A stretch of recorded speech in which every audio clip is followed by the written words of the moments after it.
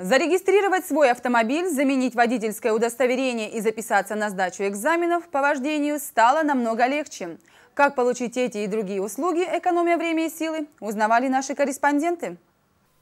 Получить государственные услуги по линии ГИБДД, выбрав для этого наиболее удобное время, дает возможность единый портал госуслуги.ру. Там вы можете проверить и оплатить штрафы, получить и заменить водительское удостоверение, зарегистрировать транспортное средство, получить и продлить лицензию на хранение и ношение оружия, получить справку о наличии судимости, а также еще ряд других услуг. Раньше данная услуга занимала очень много времени, приходилось долгое время проводить в очередях, были недовольны граждане, что какие-то люди без очереди проходили в разные окошки. Сейчас вы это все можете сделать, не выходя из, своего, из своей квартиры, из своего дома. Просто зайти на, на, на, на сайте, на интернете, зайти на сайт э, госуслуги.ру, пройти там регистрацию. Регистрация сейчас сделана в очень упрощенной форме.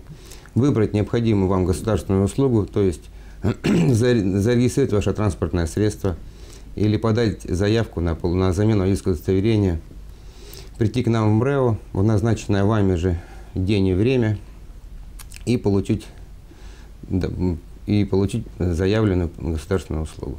При регистрации необходимо будет указать свой номер телефона, паспортные данные, номер СНИЛС и адрес фактического проживания, выбрать нужную услугу и отправить заявление в подразделение ГИБДД, при этом выбрать дату и время, удобную для вас. В целях повышения качества предоставления государственных услуг изменен режим приема граждан МРЭО ГИБДД.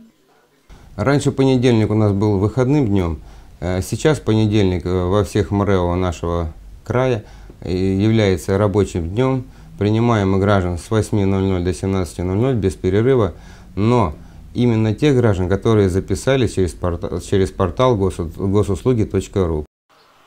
Использование единого портала позволит жителям Славянского района сэкономить время и деньги, которые не придется платить коммерческим организациям за предоставление услуги по заполнению заявления на регистрацию автомобиля, а также получение и замену водительских удостоверений. Надежда Неткачева, Александр Косицын, Георгий Калинин. Программа «События».